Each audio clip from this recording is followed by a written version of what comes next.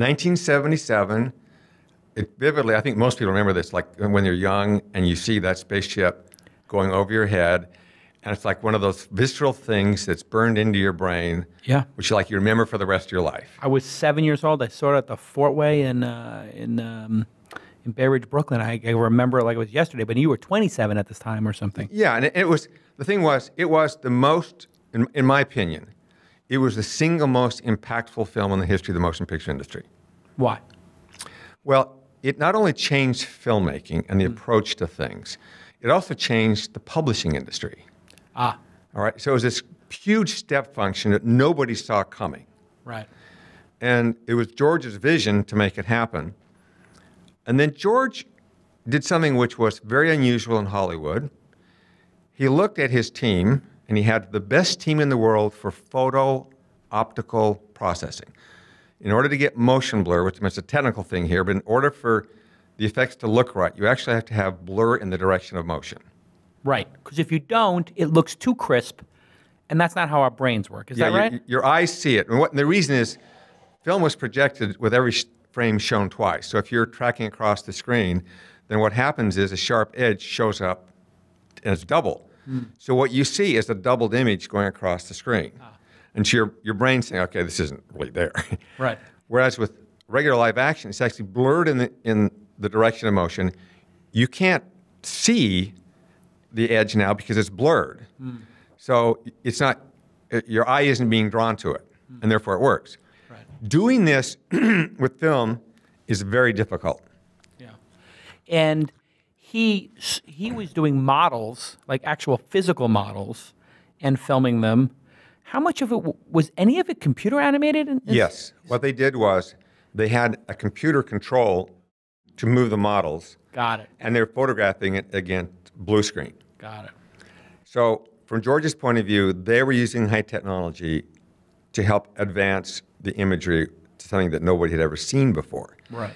Therefore, his view was, I want to keep investing in technology because it's brought something fresh. Mm. So he went out to look for somebody to run the lab.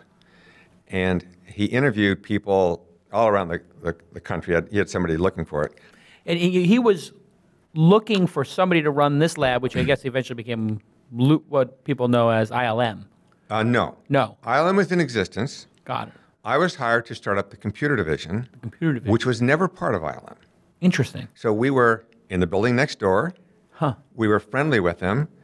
And to be honest, at that time, because computer graphics was lower resolution, they didn't think it was relevant to them either. Even though the big man on the- top said it is relevant, there was two camps. Well, it, it wasn't so much a camp. It was like they, they were, first of all, they're very friendly. So there was nothing standoffish about them. Right. It's just that what we're doing didn't match their standards. Just on the fidelity of it, it wasn't a. On it- fidelity, it, yeah. didn't look right yet, but Uh, Lucas saw that resolution, the details. Well, it was more he was. It wasn't that he saw. He believed in the principle Hmm. of supporting the R and D because he didn't know where it was going either. Ah. And it, and it really was hiring us to support one thing they were doing, which was matting. But what we brought was the vision of making the computer graphics and the imagery, which was beyond what he had hired me for. Right. He wanted three things. He wanted digital compositing, he wanted digital audio, Hmm. And he wanted uh, video editing. Right, because at that time people were splicing film together. That's right. It, there was no Final Cut or any of that kind of Yeah, none of that stuff. So we did the research. We were pushing ahead for building around things that were going to come, even building hardware, convincing the people at ILM that we had something that was very good. And as I said, that we did have a good rapport with them. And from their point of view, while they didn't see it originally, they also felt like, well, it's George's money, do what he wants. So they weren't antagonistic. Right. And he had a lot of money at that time because the Star Wars had just he had maintained the rights to the merchandising. I mean, he had become fabulously wealthy and was outside the system and able to fund his own visions. I mean, That's it was right. truly unique in the world. And he wanted to be in the in the Bay Area. Also unique for a filmmaker. That's right. He did not want to be too close to that system because it was too ingrown and closed and so forth. Up here, he could be free to do what he wanted to do. And so that gave us the freedom to pursue each of these. And then ultimately later, uh, we added a games group to it. Right. Hey, everybody. This episode is brought to you by my friends and in partnership with my friends at Audible. And Audible, as you know, is one of my favorite services in the world because I love books.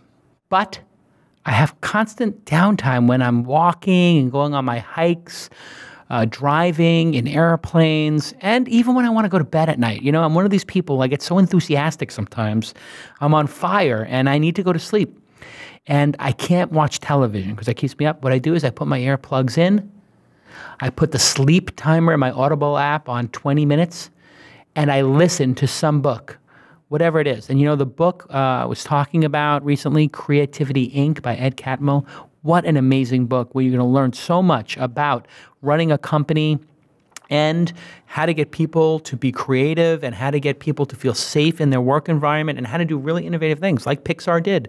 And Ed's got an amazing story and it's really an, an inspiring book and educational.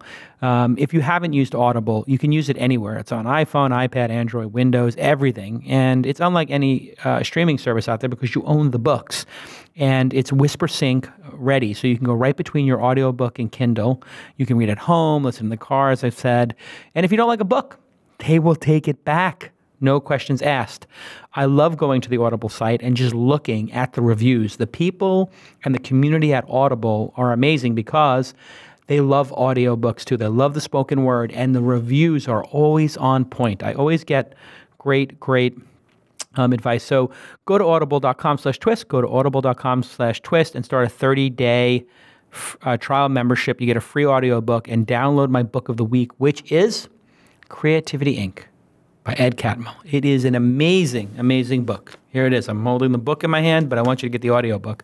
Go to audible.com slash twist and buy Creativity Inc or get it for free actually 30 day free membership they give you a free book it's an incredible service i love it and you know by the way it used to be you had to like download these audiobooks and then sync them.